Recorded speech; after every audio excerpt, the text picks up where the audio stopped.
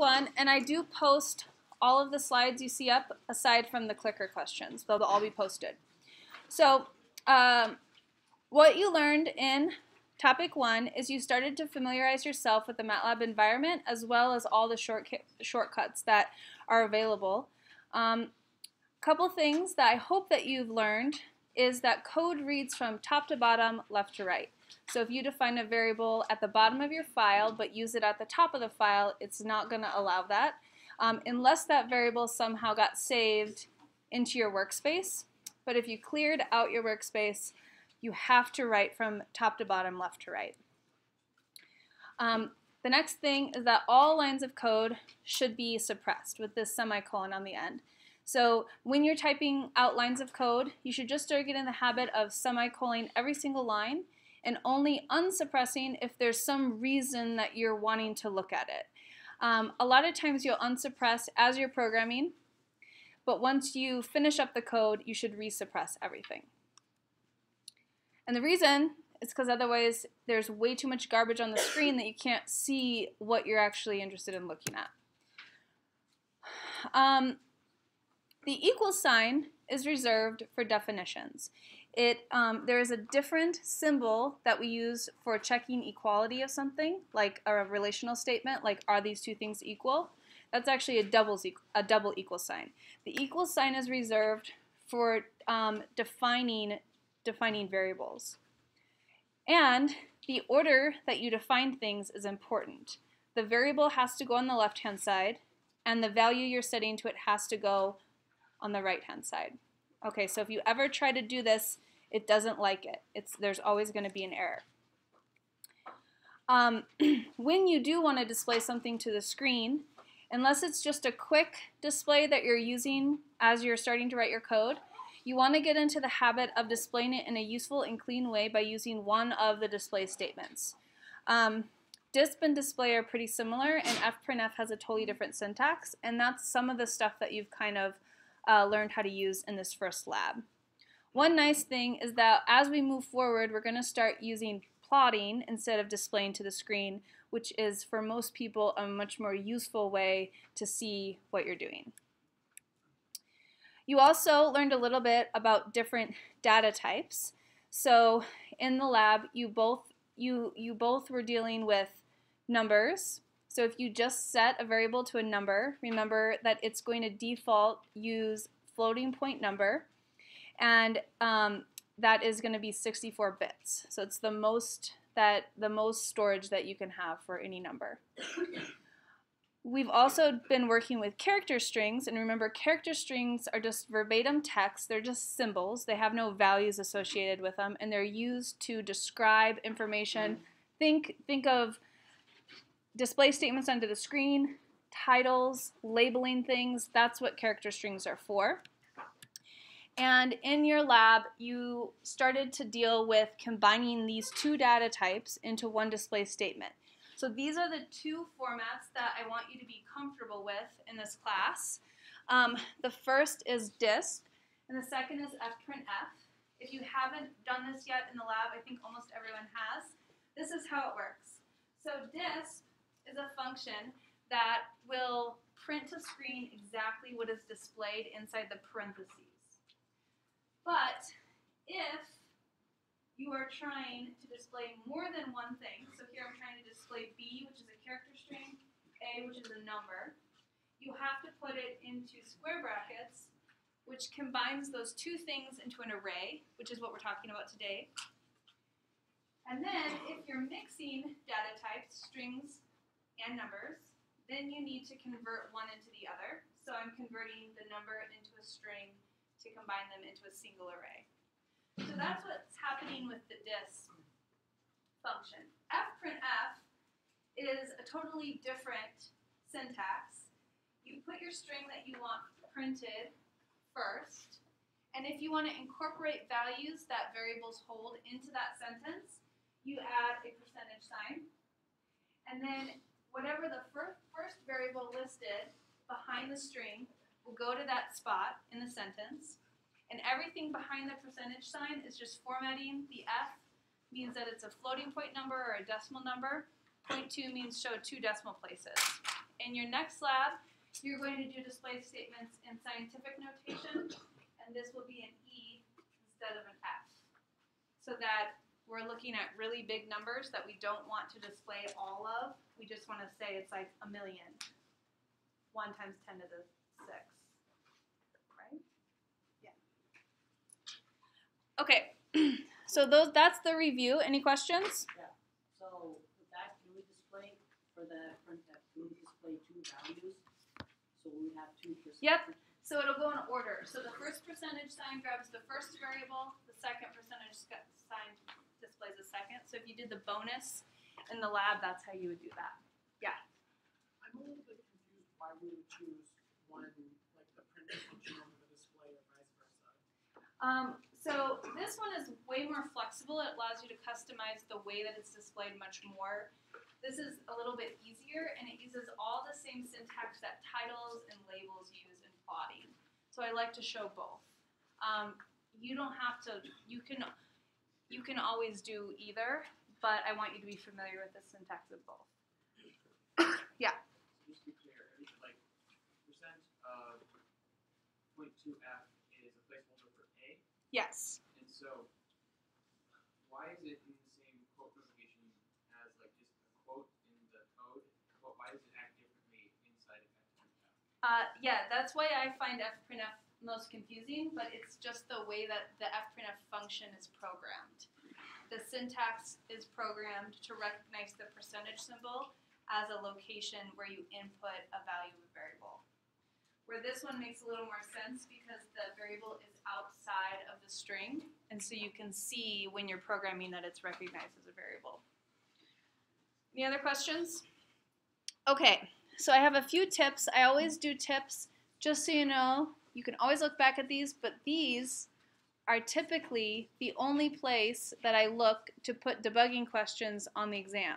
They're always in these tips.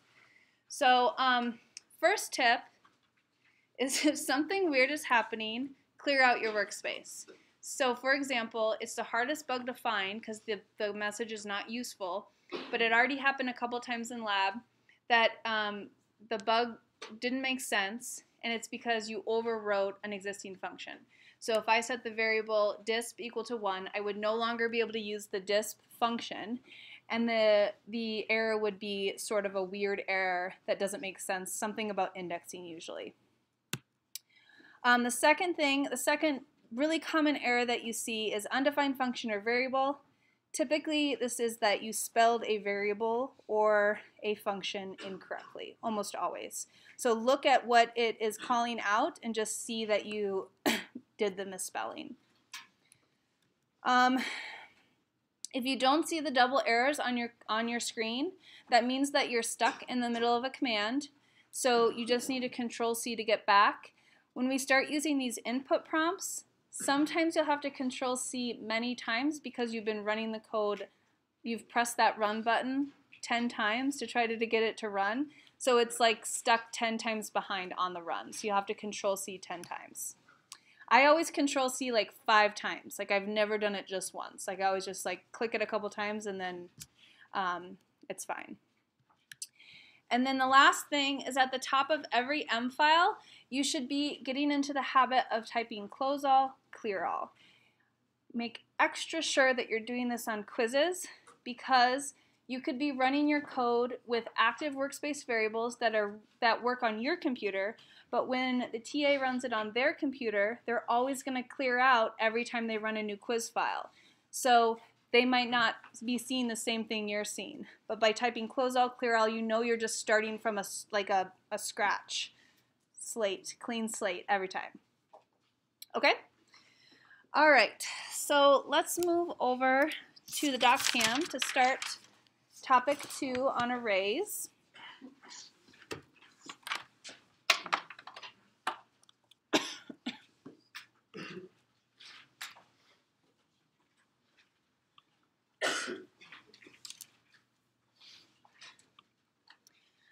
All right.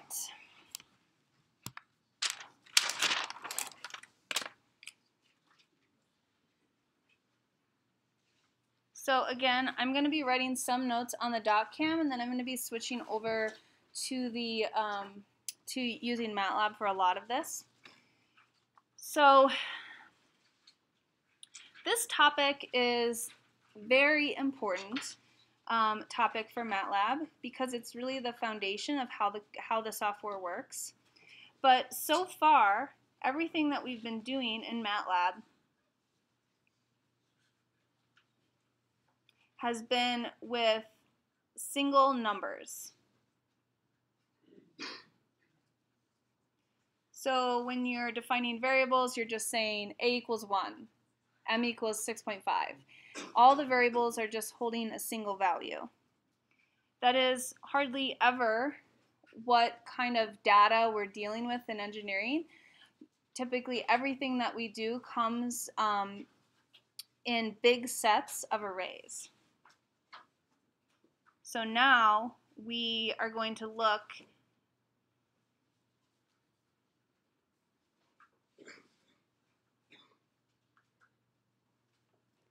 at how arrays are dealt with in MATLAB, and we're particularly focusing on how things are stored in arrays, how you can manipulate arrays through basic arithmetic that you're used to, and how you can access values within an array. Now the term array is a general term for um,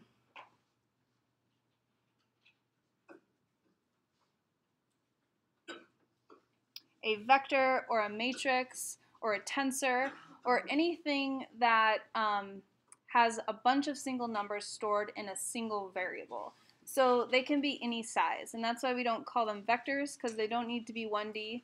We don't call them matrices because they don't need to be 2D. They can be any dimension. And Mm-hmm. um, the definition that, just if you want to grab onto something, is an organized collection of numbers.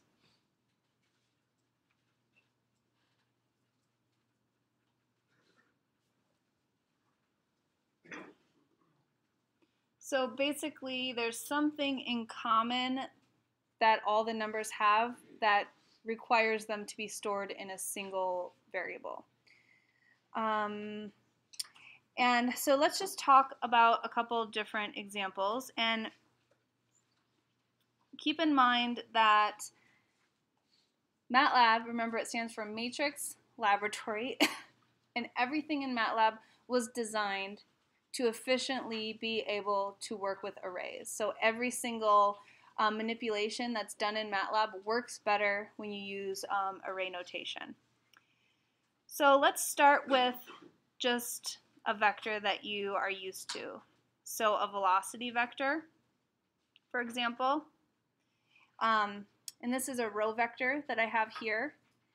And um, if you were to write this in MATLAB, you would use any variable name you want. So, so um, V is okay. And then you would um, open with um, a square bracket facing the right. And you would list all the elements of that vector. And then you would close with the opposite square bracket. So this is an array that has the dimensions 1 by 3. It's a row vector. MATLAB also allows you to se separate values in a row with commas. So you can choose to either just do a space or add commas. I always do spaces because it's one less thing to type, but some people prefer commas because it's more clear that they're different numbers um, when you see the comma there. So this would be a 1D array, this row vector. Um, the other type of row vector that you could write is a column vector. So visually, the column vector would have elements stored in um, rows in a single column. And in MATLAB, if you wanted to write this in MATLAB notation, then what you would do is you would separate rows by semicolons. So as soon as the code sees a semicolon, it knows that you're moving to the next row if it's inside square bracket vector.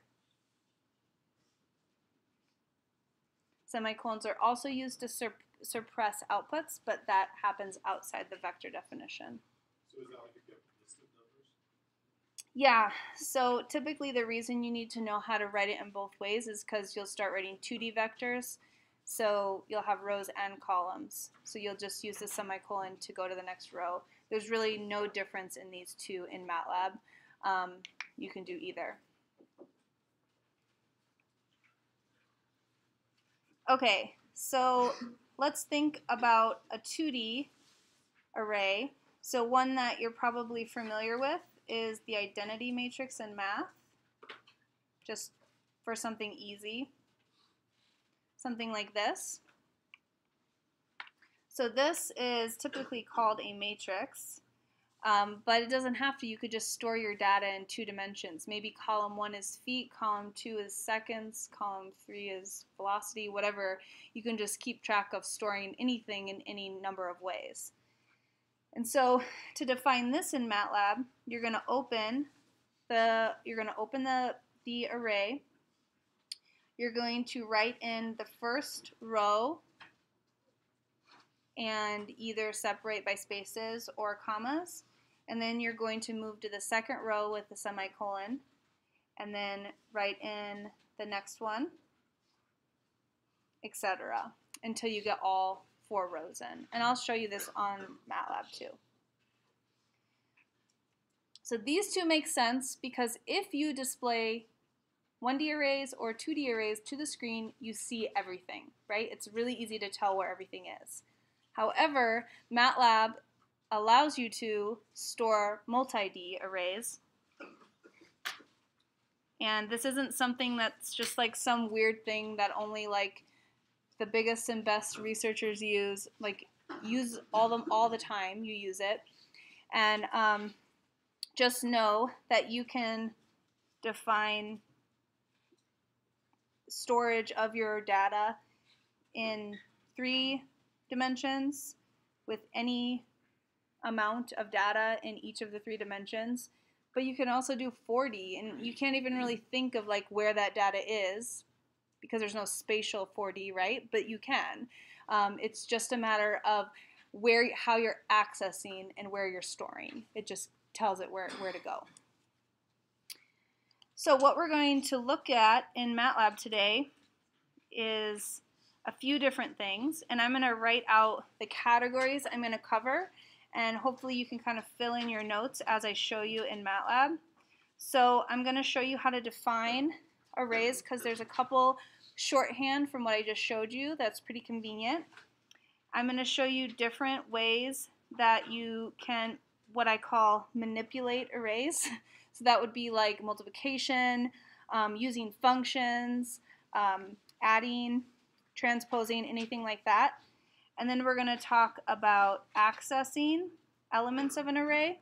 So let's say you have this huge array that stores all this data, but you only need columns, column 25, right? How would you just pull out just that, the information that you need? And then we're going to talk maybe about memory allocation. And I'm probably not going to come back. Um, and if I have time, I'll do cell arrays too. And I'm not going to come back to the doc cam. Just going to do it over here.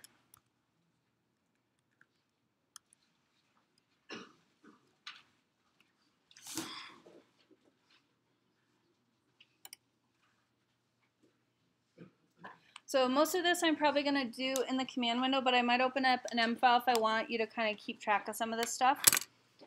So let's just start by doing the three vectors so you can kind of see it, what it looks like. So um, if you set up the row vector with spaces, when you enter it in, it will print it out as a vector without the square brackets. It's just going to show the data if you see that. If I add in commas, you'll see that it's exactly the same. And arrays are particularly the reason why you want to suppress because we're going to have arrays that are like the one the one lab like lab 7 if you read in all the data it's like 4000 by like 3 million it's like a huge amount of data do you know what i mean so you cannot print it to the screen you got to be selective I, I exaggerated that a lot. It's not a million, but I think it's thousands. Thousands of, of rows, hundreds of columns. Um, so that are that's how you do the, the, the 1D array. Um, for the column, this is how you would do it if you wanted to use the semicolon notation. I almost never do it this way because I don't, the semicolon just doesn't fit with my, my style up on the keyboard. So what I do is I typically just type it out with spaces and then I use the single quote which is a transpose function and it will automatically define, transpose, and then send it to D all at once. And it's a much cleaner way, in my opinion, of defining. I think the semicolons are really clunky. Um, if you want to do the full matrix, you're just going to put in your row and then add um, the semicolon to move to the next row. And I'll show you just what this looks like so that you can see that it does show you the dimensionality of the array. It'll put it in the proper rows and columns for that. And uh, I won't do a multi-D um, array right now. You'll do that in your um, pre-lab, but you'll notice that once you go one dimension forward, you can't look at it all at once. So it's going to show you slices of the, of the array, and it's really big. So it'll just print several slices. So if I had one more dimension, it would just print like 10 of these 4x4s, for example. A couple of shorthand that are really useful is the colon operator. So the colon operator allows you to create an array that is filled um, um, with patterns. So let's say that you needed to set up an X array for some data that started at 1, ended at 100, and had a number at every one iteration. So the shorthand for that would be 1 is where you're telling it to start, 100 is where you're telling it to end, and then the colon just means fill in every one in between. So 1 is always the default step. And it's going to print pretty messy because it can't fit on one line, so it's going to just show you what column it's printing. If you um, if you add a third value in between the um, two colons, then you can specify how the frequency that you would like repeated. So 1 colon 1 colon 100 is going to do the same thing I just did, but if I change this to 2, it's going to skip every 2. Start at 1, skip every 2 until it gets to the last one, and it doesn't get to 100, so it just skips 100. Uh, so that's really useful. And the thing that's nice about the colon operator is that it's the only way that you don't need square brackets. So the notation with the colon operator assumes an array, so you can leave out the square brackets. However, you can also include them. So when you're kind of early in like figuring out syntax, sometimes it's a good habit to always include square brackets for every array just to kind of get it in your brain a little bit better. There's two functions that are really useful. Um, that we're going to use all the time for pre-allocation. The first one is the ones function. Um, that creates an array filled with ones and it is the size of the dimensions that you input into it. So this made an array that's a 3 by 3. The reason it's useful is that if you're creating something that has that you're going to fill in later, if you pre-allocate it first, it significantly speeds up your calculations and, and um, uh, by allocating memory towards it. Uh, we don't get into that too much, but even when you move on to 303 and the resulting classes, if you don't start getting into the habit, your code can be up to like 10, 10 to 100 times slower if you don't pre-allocate. So we're going to talk about that and start getting that into our habits as well. There's a similar function called zeros fills it with zeros. Depending on whether you're summing or multiplying or what you're doing, one of them will be preferable. Um, one tip is that if you just put in one number to the zeros or the ones function, it will automatically create a square matrix of that number. So here I just put in a 4 and it created a 4 by 4. One thing that you should not do, that a lot of people do, and I'll remind you this later when you start making this mistake, is people use the colon operator. Does anyone have any idea of what the colon operator would do?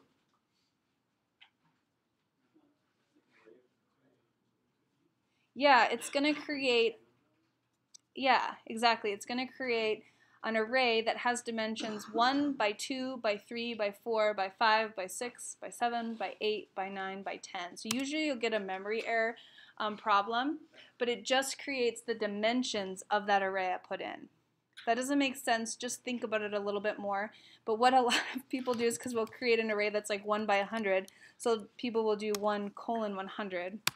And so you get an, an, error that says that you've exceeded the allowable memory for any single array. Okay, let's move on to manipulating arrays. So let's start with scalar multiplication. If you want to multiply every element of an array by a scalar, like 2, you just do normal um, normal multiplication in front of the variable. So that's going to multiply 2 by each element a lot of times what we do in this class is we start um, setting up arrays and everything's stored in a, in a single place. And like for this, for example, I have an array called V2 that has, has these three numbers and V that has these three numbers. And what I want to do is multiply the first element of the first one by the first element of the second one, the first element of the sec second element of the first one times the second element of the second one, etc. So almost exclusively, with the exception of when we do linear algebra, anytime you're multiplying two arrays, you will need to use the dot operator. We're going to talk about the dot operator all the time. The dot operator is element by element multiplication, or if you're doing division, or if you're doing powers. So anytime you're multiplying two arrays by each other, dividing, or doing a power, you need to make sure that you're using the dot operator. And so let's say I wanted to square every element of v. So I have v, I wanted to square each element. If I do v squared, I'm going to get an error because what it's going to try to do is matrix algebra, which is what MATLAB is defaulted to. What I want it to do is just take every element and square it. So I need to use the dot in order to show that I'm just taking each element and squaring them individually. Um, and you'll start to see this once you start applying it. Addition, on the other on the other hand, so if I have v and v2, uh, let's say I just wanted to add those elements together, that one you don't need the dot for. So if I want to take 4, 4 and 2 and add them, 10 and 5 and add them, and 14 and 7 and add them, I can just use the addition sign. The addition sign and the subtraction sign do not require dots. That's because addition and subtraction are the same whether they're scalars or um, vectors. So here I just added 2 to the vector v, and you can see that it just added 2 to each element of v. You add the dot, I don't know.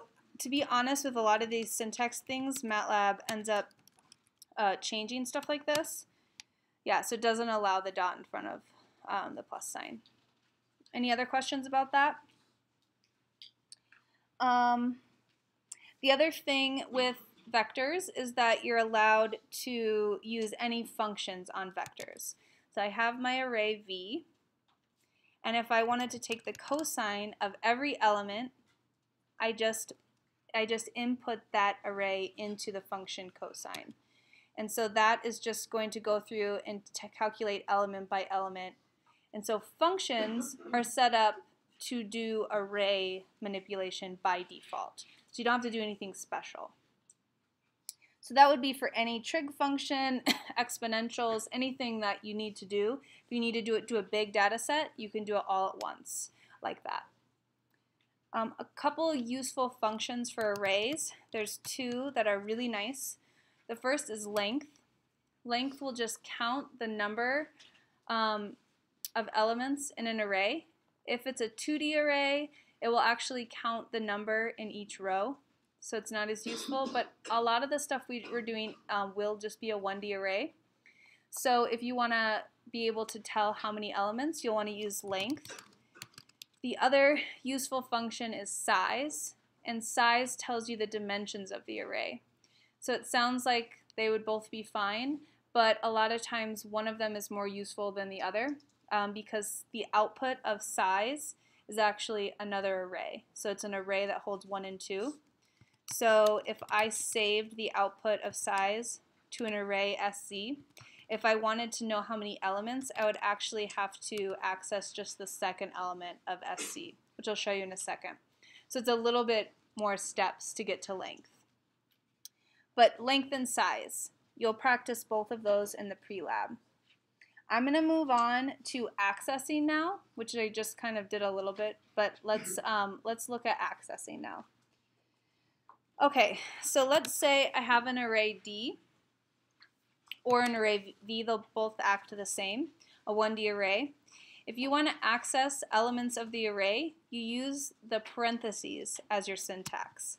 So in order to say that you're accessing specific elements, you open the parentheses. And that is why, for all of you, lots of you have asked this, that is why parentheses are not allowed for multiplication. It's because the parenthesis is reserved for array mm-hmm. accessing.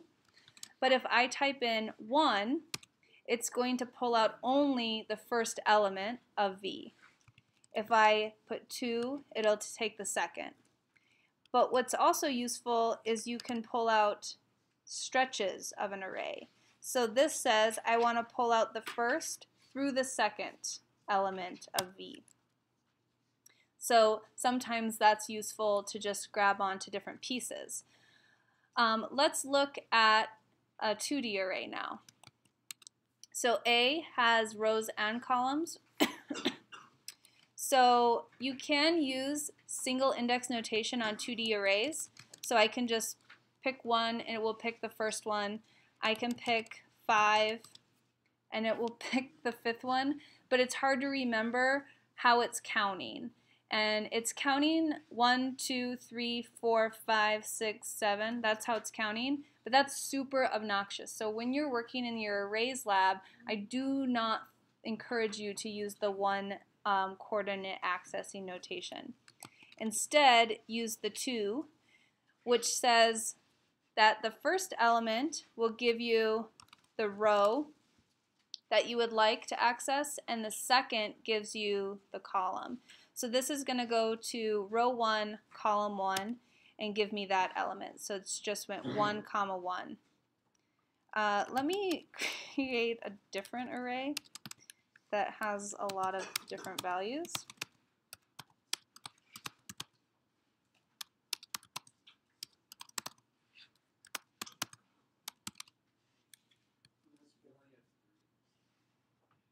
This one? Okay. So here is an array B.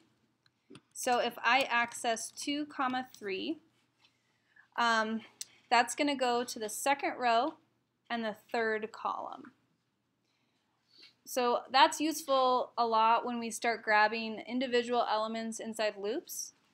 But what we often do as well is we have all of our data in a single variable, but we only want to access a column of the full array. So here's where you use the colon operator again. So let's say we wanted to take the second column of the vector. So the colon operator says all. That's the way you want to remember it. Colon means all. So I want all the rows because I'm trying to get a column, and then the second column. So that should give me 751, right? Because I'm grabbing all the rows, but of the second column. 751. If you want to grab a row, you're going to put the colon in the second index. So let's say we want to take the last row, so that's 3. We'll do 3 comma colon. And here you can see that 3 comma colon is going to give the last row of the B array. So again, I'm taking the third row and all the columns in that row. And you don't need to put only a, a, colon a colon there. You can also say 1 to 10. Like just take some of the columns or some of the rows. So you can use the colon operator the same as we did when we defined arrays. It works exactly the same. So the colon operator is really important for both defining and accessing. So keep practicing that until it starts making sense for you. And along that same line, you can replace values in an array by accessing the value that you want to replace. So for example, let's say I want to replace second row, second column with a zero. You just pull out the one that you want to access, set it equal to the new value you want it to have. And so here you can see that it used to have a 5 there and now it has a 0 there. You can replace whole columns and whole rows as well. And then the last thing is that you can add or remove columns and rows. So let's say we wanted to add a row to B. I'm going to call out the fourth row and I want to put all zeros on the fourth row. So I'm just going to call out the fourth row and set all the values to zero and now it has a fourth row there. You can also set this equal to an array if you want each element of the row to be different. And it just needs to have the right match for size. Let's say I want to go back and remove that row. To remove a row, you just open and close the square bracket and that will take away that row or take away that element.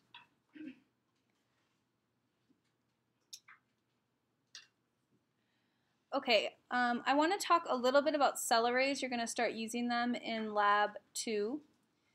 Cell arrays are arrays that allow you to mix data types within the array. So one element could have a string and one element could have a number. We rarely use them in that way, but we use them for strings. So let's say that I had an array that's, that stored three students' scores. So these are three different students, and I stored each student's score in a different element of the array. And I wanted to have another array that stored their names in the same element location so that I could match their names with their scores. To do that, I would use a cell array, which means I use curly brackets. And then in the first element, I would put the full name and I would just put it in as a string. And then I would list the other two separated by commas. And you do need to use commas for cell arrays. Um, it's the only way, I don't know actually. You might not need to. Should we try it? You don't. Okay. Spaces or commas just like regular arrays. And that way, if I wanted to access, I, I knew that the second student had this score and I wanted to know which student that was, I would just type in the name and then for cells, if you want to access, you still have to use curly brackets. You can't use parentheses for cells pretty much for anything. And then I access to, and it would show me the name of just held in the second element. And so a lot of people, when they start doing these this naming convention or this storing convention where you have two different arrays that are totally separate, totally different variable names, and they often think, well, how does MATLAB know that they're the same? How does it know element 1 and element 1 in each one match? And the answer is it doesn't. MATLAB doesn't know anything, but you know that because you programmed it, you know? And that's good enough.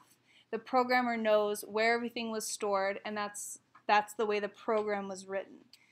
So you're going to do this in lab 2 with storing the names of some of the data that you're using so that when you find a result, you can print the name of that result and the value rather than just the value. Um, so cell arrays are exclusively used for holding um, character strings in an array. So let me show you why you don't want to use just a regular, I'm going to scroll up so I don't have to retype it. So let me go back up to here. I'm going to make a regular array. And I'm going to rename it names2. So I didn't make it a cell array, I'm just making it a regular array. What happens is it just puts them all together. Every character is a different element in the array. So if I do names2 and try to access the second element, it's not going to give me Nick, it's just going to give me the second letter. So character strings allow you to put characters together in different elements of an array. And so it's, it's basically necessary to use um, for any strings. Um, from as far as memory allocation, it's the last thing on the list. Um, anytime you're going to fill in an array with numbers, the first step that you would want to do if you're not filling them in all at once, like here, I'm filling in an array and I'm putting in all the numbers at once. But let's say that I was going to fill them in one by one. Um, like I was going to put in the fourth element and then I was going to put in a fifth element. I was going to just add on to an array one at a time. If you're going to do that, you want to start off by pre-allocating your array as the size that you want it to be. So you know eventually you're going to make an array that has 10 elements, but you're going to fill them in one at a time. Before you fill them in, you need to pre-allocate location in memory for it to create that array. And then, so V is now a bunch of zeros, and then go in and one by one add in all of the values to that. We're, we're going to do this with loops mainly, but if you're doing it in any other way, you're all going to kind of take on your own. Make sure that you're doing that, okay? We'll talk about memory allocation again when we get to loops. Before you pack up, we still have two minutes so that I can hear questions. Does anyone have any questions? Yeah. Why do you have to pre-allocate? So if you don't pre-allocate, what MATLAB does is every time you add on to the array, it actually finds a new place in memory. So first it finds three spots, and then the next time you add on, it goes and finds four spots, but those three spots are still used until you restart the program. It makes it faster, and eventually when you start doing big problems, it makes it the only way, because you don't have enough memory to do it that way. Any other questions? Okay, thank you.